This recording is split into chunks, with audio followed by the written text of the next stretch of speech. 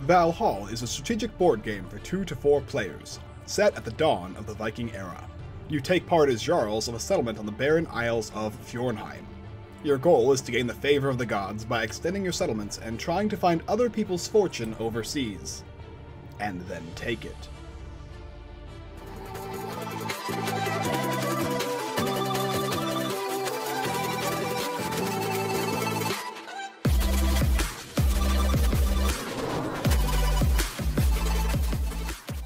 Hey guys, and welcome back to another Unfiltered Gamer board game review. Today's game up on the tabletop is called Valhal by Tetrahedron Games. Valhal plays 2 to 4 players, it takes about 90 to 120 minutes to play, and is for ages 13 and up. In the game Valhal, you're going to be getting a Viking settlement, and there's going to be a Viking area in which you're going to go out and attempt to attack villages. You're going to be building your own village, gathering coins, gathering steel, gathering wood, and basically upgrading your characters along with boats, because you you need longboats in order to get out there and pillage some villages. There's going to be these crows that are basically going to signify your victory points in the game, and if you can get to the end before anybody else, you'll win, with a couple caveats as to how you can manage to accomplish that last victory point. You'll also be getting, of course, honor, in which you're going to, or glory, in which you're trying to, uh, when you defeat certain things, or sometimes when you die, based on the cards you get, and based on the loot you get as well. And after a certain number of rounds, if you manage to get the most victory points at the end of the game, you will be the winner, and otherwise the endgame can trigger as well depending on what happens. Gather your longboats, gather your Vikings, and attempt to become the most glorious race in the game Valhal. Let's go ahead and take a look down below and I'll show you what you get. So here we have a two-player game of Valhal already all set up. Before we get into the setup of the game, let me tell you what everything is.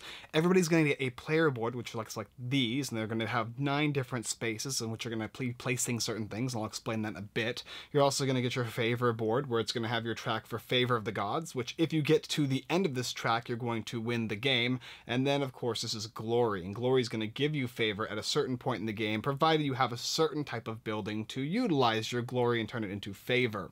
There's these die in the game, which you'll be using for fighting, which are the white ones, and then the red ones here will be using for certain things, which may be fighting, and in addition it'll also be depending on who's going to be getting to go to which locations and when, as well as who's going to be drawing event cards. Every player is going to be getting a longboat, and the uh, soldiers here to start the game with one of each. They're going to get three gold coins, three meat, one meat on the first season, which is going to be summer, and then you're going to be getting two of these uh, steel and or I think iron tokens that you'll be utilizing. You put them all in your storage facility, which is in the middle of the board. Set aside each of the decks for the different soldiers and the veterans and the longboats, as well as the lesser loot, the loot, and then the greater loot. This is going to be given to you depending on who uh, and what you're going to be accomplishing in this board over here. Then you're going to be getting the Benevolence of the Gods cards. Shuffle these decks up, as well as the Wrath of the Gods cards, which is not good. You don't want these guys. And of course, event cards. Set aside these tokens, depending on how many players in the game is going to depend on how many of these tokens, which will grant you favor provided you're able to accomplish them. Some of them will be like, oh, the first player to get certain amount of longboats, the first person who's able to collect a certain amount of currency. These things will push this track up as you gather them. They can also have you win the game if they haven't been gathered and you are right here. Uh, these are, of course, for extra pieces of meat and steel and whatnot. Your extra tokens are going to set aside. And then all the rest of the cards, which is for the three and four player game, you can set aside if you're not using those. You're going to start with the basic towns, four of them in a two player game. If you're playing a three player game, you'll include additional uh, tiles. And then in a four player game, you'll include an additional one as well. So it can fill the whole board up when you're playing an entire game. Uh, based on the number of players, is also going to determine how many of these specific cards will be coming out, which are going to be the towns and the fortified towns and the cities. So the stronger cards are going to be found in this deck here. And as the game goes on, they'll be flipping over. And depending on how much favor certain people are going to have, will determine what cards are in this deck. These over here, like the blacksmith, the uh, sacrificial area, the warehouse, and the granary, are going to be upgrades which you'll be utilizing for your board during the build season. And during the build season, everybody's going to start with one of these tokens here, and it'll go all the way around. How the game works is pretty simple. Players are going to roll a die to determine who goes first. In general, there's going to be an event card, but not in the first round. Uh, players are then going to select their uh, boats as well as their units and move them to certain areas on this board to fight, and then the next player will go in order until everybody has at least one of these areas, and they can choose to not go there if they would like, or they don't think they can beat it. After that, they'll be rolling dice and collecting loot if they succeed in defeating these towns. And you're going to move on to the building phase. And the building phase is basically going to start with the first round of building, then the second, which is going to be winter, and then finally the last round. And after all that happens, you're going to draw your event card, and you're going to go back into the game, trying to accomplish these towns, defeating them to gather more and more resources. You'll be utilizing your board during the build phase to train more units, to train more boats, gathering better cards like benevolence cards here here, as well as upgrading to a blacksmith, allowing you to upgrade your units to veterans. Over here is going to be the warehouse, uh, which will allow you to gather, uh, build additional units, more than one, and uh, of course you're going to have the seasons and then the granary, which will let you do some other stuff as well. But that's the basic setup of the game Valhal, as well as pretty much everything in the game. So let's go ahead and take it down below. I'll show you a round of play so you get an idea of what it looks like and how it feels, and then I'll tell you what I think about it.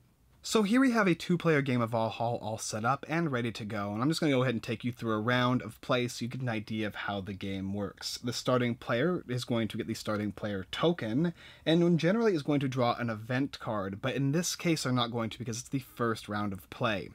After that, then it's going to be, during the summertime, the Viking fight, in which the first player, in going around clockwise, is going to go ahead and move their ships and Vikings to any of these four spaces in a two-player game, and it could be even more in a three and a four-player game. And they're going to choose which areas to go to. If you look, you're going to see that on this card here, it tells you uh, one die plus one. One is the strength, and one die is an additional strength. That is the health of the Viking. And then if that health gets reduced, this will get flipped over, and then it's going to be just one die and one health. And of course, if that also gets reduced, you're going to lose your Viking. This boat means that you can carry two Vikings per boat, and that could be upgraded Vikings or not. And in this case, you just start with one specific basic Viking or a group of peoples.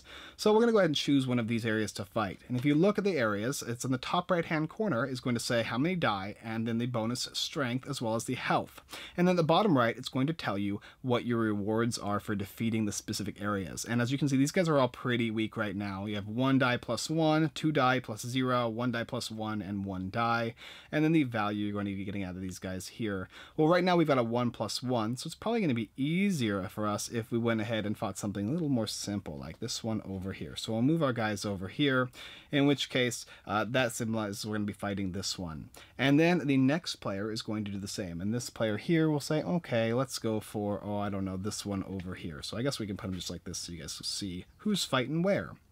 After that, then you're going to go in order, one, two, three, four, all the way around, uh, defeating these areas if possible. So what's going to happen is the player whose Vikings it is, is going to take their die plus their uh, power, and then you can use this enemy's hit point track if you'd like. Like in this case, he's got enemy has two hit points. It's round one. The warrior's strength is one, and the uh, warrior's health is two. So if you wanted, you can go ahead and put those up, and they'll be more useful as the game progresses. But right now, it's pretty easy.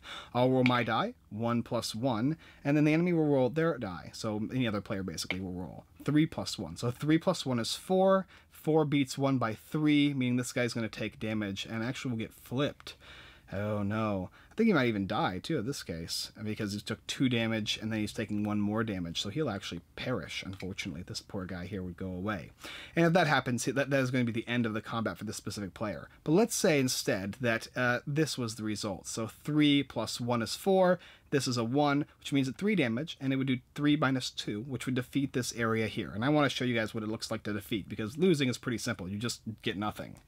In this case, he's going to then score his loot. So he's going to get one of these uh, little glories here, moving this up on the track, and then he's also going to get one of these loot cards, and this one shows lesser loot. So he'll draw this card here, he'll read it, see what it says, and there's a lot of text on these cards, a lot of flavor, but the idea is at the bottom it'll tell you this is going to give you four coins. After that, you would take the cards and put them back in the deck and shuffle them up, and the player who drew the card is going to score whatever uh, whatever bounty that they successfully accomplished.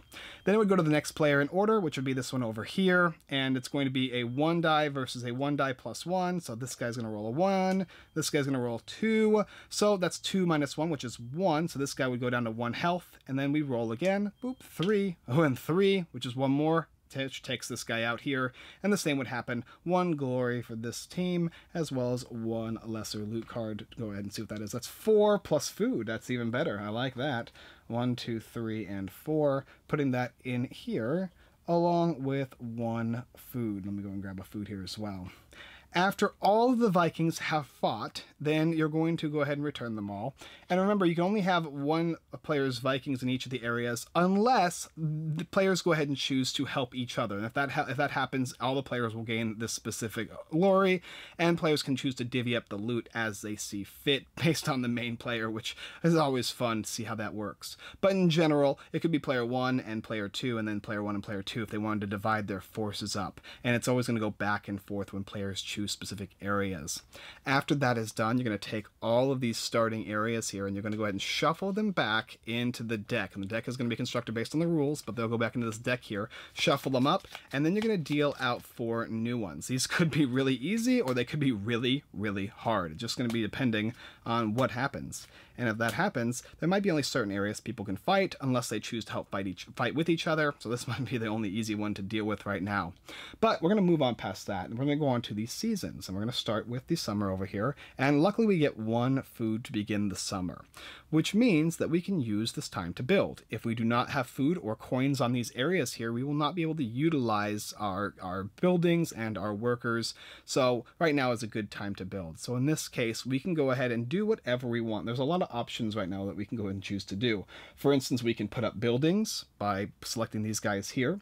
We can go ahead and recruit units such as these longboats in this area and the basic soldiers over here in this area as well as you're able to go ahead and utilize this runestone area, which is going to let you put a coin down to draw one of these Benevolence of the Gods cards. Each of the buildings give you some kind of benefit, and there's three rounds to the building phase, meaning there's three different building phases depending on how much you want to push in. And at the end of every season is going to give you one coin. So even choosing not to build will generate you some currency. So let's go ahead and show this show you this guy here. He is going to first of all, he wants to build another an, another one of these training ground areas. So he's going to take one of these guys here. And what you do is you flip it over and then you're going to place it down based on the turns and it'll tell you what how many turns it takes. This is a three turn one unless you have a blacksmith then it's two. Uh, then we'll go ahead and say let's go ahead and build a boat too. So we'll go ahead and put this one down here and we'll take another coin we'll place it here. And luckily we spent our food here so we're good. So we can do all this otherwise we couldn't. And so we got our boat now at three as well. And if we had this here the lumber mill area or the whatever it's called, the uh, the warehouse. If we had that, it would only be a two as opposed to a three. Uh, and so we got those. We can also choose to upgrade a building if we'd like. Maybe we want to get our blacksmith going on, so we'll take this and we'll place it like that. If we had the lumber mill or the, the lumber yard or whatever, it would be a three as opposed to a four, but eh, that's the case that would be how that works. And then the other player would do the exact same thing over here in whatever way they want. Maybe they wanted to have this one instead, or maybe they wanted to build the granary instead. That would be up to them. They could also choose to spend one of these currencies to get one of these Benevolence of the Gods cards, which he'll do, and he can read it, and it'll tell you whether or not they get activated or they happen instantly. This one's actually interesting. It says to roll a die. On a 1, it's no good, it's bad, and a 6 is really good. And then if it's anything else, which was that, then this is just going to get discarded. It could have actually given us uh, some favor, which is very important, and it could have also made us have to draw a uh, Hatred of the Gods, or the, the Wrath of the God card. Uh, so anyway, this this would burn, and then after after everybody's placed all the things they want to place, then you're going to go ahead and turn this to the side. Every single one of them will rotate as long as they have coins and or certain uh, building resources on them. So that would happen just like that. And the next player would do the same thing. And of course, you can actually use these steel and and wood to build certain things. Steel is going to let you build units, and wood will let you build boats. Uh, so you can utilize those without having to pay for the food in this during the seasons. But let's say you wanted to do that, then you would need to. So the next season now is going to be winter. But before that happens, every player is going to get one gold coin.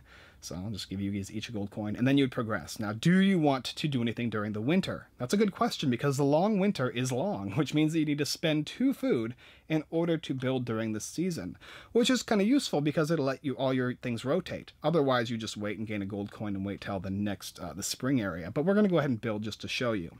So now we're going to go ahead and place our currency down. We could choose here and maybe here, and we'll save these two. And then that's maybe all we want to do. So in this case, the winter would be over. These would then turn over to the side. We'd spend these, and then we'd get one coin for the end of the season. Then we have one more season left, is just spring, which we'd have to spend another food. And remember, food can be food or it can be coins. It's up to you, but food is mainly used for, of course, feeding here. Otherwise, you have to basically pay for your food. Last season, and so let's go ahead and oop, and oop, and eh, why not over here as well? We're out of coins though. And this is the last season, everybody else will be doing the same thing, in which case the season would end, these would all be turned, and of course when it's at one, these will be flipped over, and you can put them over here in your tableau. The same can be said for these guys. And remember, two to each longboat, so you can have two there, and then this is going to just rotate to two.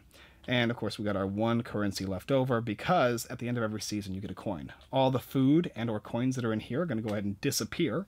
And uh, that would pretty much be it uh, for this specific round, in which case both players will be doing that. So this player would have a board similar to this or similar unique, unique units. And then we're simply going to go ahead and move on to the next round. And how that works is uh, both players are going to take these, these die up and they're going to, well, this is going to pass first of all and then the one of the event cards is going to get drawn, and you're going to read the event. It's going to have flavor on it, and it'll say something like "Pay money for the present," or draw one of these nasty wrath cards because Freya has heard your mutterings about the love and traditions. So you could choose kind of what you want to do, and every player will get the option to choose. Afterwards, this will get discarded. Then players will go ahead and roll these die here and the player who rolled the highest will get to choose first to go ahead and fight these things here. As you see, the ones that get stronger that have a higher damage damage bonus will also have specific passive abilities. They'll give you better loot, as well as they'll give you more glory, which will go up on this track. Eventually, and that's basically the idea of the game, though. Um, uh, there's a couple things that are kind of important here as well. First of all, when you pass this on and you have somebody draw this card, these can affect the player who drew it, or they can affect everybody, or can affect nobody. Additionally, as you upgrade buildings, like if you upgrade this thing here, which is one to get a benevolence, when you upgrade it to this one here after a certain amount of turns, uh, then you're going to be able to spend two for benevolence, or three, or two to give somebody else a wrath card, or you can send seven glory. So if you ever get to this point here on your on a season, you can go and spend seven, and then you can move your tracker up. The other ways to upgrade your tracker are the loot cards. They'll give you certain things. So let's see if I can find one here. Uh, that's going to upgrade a unit. That'll give you some gold. There, if you get one of these, this will upgrade as well. As you upgrade, you're going to basically be doing certain things. So for instance, in this track here, this would, if both players got to here, you would remove certain cards from here, the basically the, the weaker ones. When you get to here, you'll have to draw a red card. And then for here, you're going to remove all the secondary cards in here, which means only the scary ones will be left. You cannot win the game if you're here going to here by spending glory, but you can win it in any other way, whether it be a card, whether it be an event, or whether it be um, one of these guys over here. And these guys will trigger based on if you get certain things. Like if you get three longboats, you'll get this first. Or if you get a certain amount of coins first, you'll get one of these guys here. And these are basically like victory point conditions as the game goes on. Uh, and like I said before, you when it's the next round, of course, players can work together to defeat these certain things. But if they do not succeed, their their Vikings are going to perish. And you want to be careful how you how you utilize your guys because they can die. And do make sure to use this thing here. But that's pretty much the idea of the game. The lesser loot cards will give you less valued uh, rewards, and the greater ones are going to give you a lot more. These generally are going to be very good for you, benevolence, and these red ones can be nothing all the way to very dangerous. These things are a mix, providing you with some story lore as well as choices you'll be able to make during this Viking game. And then adding all these up are going to give you bonuses. Blacksmiths will let you upgrade your units to make them stronger. The warehouse is going to let you build additional units here, like I talked about. And the granary is actually really cool too, because it will let you only have to spend one food during the long winter, as well as there's certain cards that will affect you if you don't have the granary. So having this is kind of beneficial and will save you value throughout the game. As well as, of course, in the back of all these cards, depending on what buildings you have, you might get to start at a certain point, like that three, as opposed to the four. But that is Valhalla, pretty much the basic idea of the game. The first player to get to the end here before anybody else is going to win, provided they, they, they don't use this glory here. But that's pretty much the game. So let's come up and we'll discuss it. I'll tell you what I think about it, and I'll show you some other additional cards and how they function. So Valhalla, I have a couple caveats first before we get into our review. And the first one is you do not win the game when you get your uh, your crow all the way to the end of this track minus one. But you can trigger the end game when you get your glory to seven, which will give one more round, and the person who's farthest along on the track is going to win. Um, additionally, this is the first version of the game, so if you're watching this video, it's very likely that you are watching, looking at the Kickstarter for the second version, which means that you're going to have an, an additional type of content for uh, the Yggdrasil board, the Yggdrasil board, which you're going to be getting these little tokens here, which will be a little bigger, nicer component quality. This here has some uh, components that they wanted to change, upgrade, make a little better. And if you look at the Kickstarter campaign, it will show you the different quality of components based on what I have here. It's going to be a little different for the second version of the game. This is the first print that came out a couple years ago and has a few changes in it that are going to be a lot nicer as far as how it looks, as far as the component quality, etc., etc. So go ahead and take a look at the campaign and see the differences between that. I'm going to mainly be talking about this and what I felt like the game was like, and of course the component quality for this, but I do acknowledge that there's definitely going to be some improvements based on this next version of the game on Kickstarter right now. So Valhalla, it has some really interesting mechanics, and I mean interesting because, like once again, people always like don't say interesting, but it's like has it's it's it's unique to me when I see that you're able to build on your tableau, you're building your city up, and then you send out your units to another board that has a bunch of different areas you can go to. You'll also be drawing unique event cards. They're gonna do a bunch of different things, some really cool things. And the main thing about this game, I would say, is read the events fully. There's a ton of theme in these games. Tilda, I have your mixed meat in the food of the cattle. Uh, in the food of the cattle, they are behaving strangely again. Strange, strange does not even begin to describe it. There's more like a, they're more like lunatic beasts. Almost all the cattle on the whole island. The seers tell us to kill all of them and not to eat them, sacrifice them. Hopefully, this will please the gods. And that says you can't provide food to the season with all the consequences. The building granary pr protects you. This card uh, from this card. So if you have the granary, it protects you. Like I said before, granaries can help you. Otherwise, you'll be able to get food, etc., etc. All these things do different things during the round, changing the game just a little bit. Benevolence cards are going to help you throughout the game and provide some really unique benefits, and all of them also have theme on them. Uh, you receive a message from the shipbuilder. Apparently, he felled a tree, which is particularly suitable for shipbuilding. This is certainly a gift of the gods. We should use it quickly, for we know that even blessed trees are not immune to woodworm. You receive two specific pieces of wood, which will help you progress your game as you build different different buildings. A lot of cool stuff as far as different components of the cards go. It's always going to be different what you're drawing. Certain cards, like the loot cards, will be shuffled back in. And of course, the better loot you get, the more likely you're going to get value out of them. Some of them will give you coins and wood. Others are going to give you uh, glory and so on and so forth. Up to the point where if you have the really greater loot loots, then you're going to be able to get stuff like the... Uh, the blessing of the gods. This is the most important thing in the game. It's what you need to win, and I would suggest you try and get those as best, best as possible. As the game progresses, you're going to get those three seasons in which you're going to be able to build stuff. Of course, winter is more expensive, but if you can utilize all three, it's always a good thing because you're going to be progressively getting better and better and building more and more, and of course, improving your army so you can go out and raid and collect more loot and bring it back. This game has a lot of historical accuracy as to how they functioned and what they tried to do in order to accomplish their goals and create a better civilization for themselves themselves. And of course, if you do not like the different rating aspect of how the Vikings function, maybe that won't be for you. But overall, the game is a lot of fun. I really enjoyed this game and it has some really cool elements, especially the fact that you have two different things you're kind of doing, as well as dealing with your opponents. Being able to give them these red cards after you've built certain areas on your board is really cool as well, and some of them can really mess with your opponents. But it's not really a take that game. And in fact, sometimes with your opponents, you're actually going to work together, especially with more players, to try and destroy the larger, scarier cities that become a little more difficult, a little more uh, advanced and hard to function with, and you have to say, okay, let's work together because right now we can't beat anything on our own. I'll give you this, you give me this, and it has this kind of Catan feel as far as the bartering goes in the game. And you're going to see the difference between what you're building, what your opponents are building, but it always stays very close. Each time we've played this game with all the different player counts, it was always extremely close to winning. Another thing to note too is the game, I guess, can get kind of mechanical, especially with the building function, because you'll have three rounds of building, so you're going to want to do what you want to do. And I actually would suggest, as long as players aren't giving you these red cards, to everybody just kind of do what they need to do during the seasons, because most of the time it's not going to affect anybody else. So you can kind of progressively choose what you want and build what you want, how you want to build it. Make sure as long as you don't forget the honor system, of course, then it's going to go a lot faster, a lot smoothly. Uh, back to that part where you're doing the Viking fight.